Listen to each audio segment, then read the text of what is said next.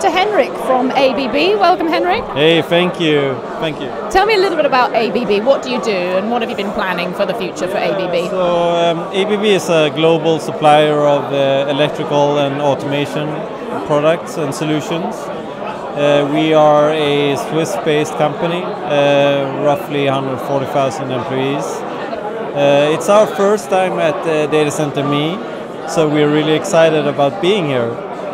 Great stuff. Any plans for the future? Any exciting news from ABB?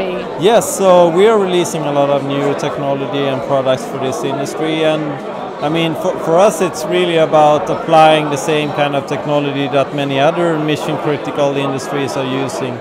So um, for, for us, 2016 is, is about continue to release those products and making sure that, that our clients and, and customers are aware of the, the, the, the portfolio that we have and, and how it can be implemented in this industry.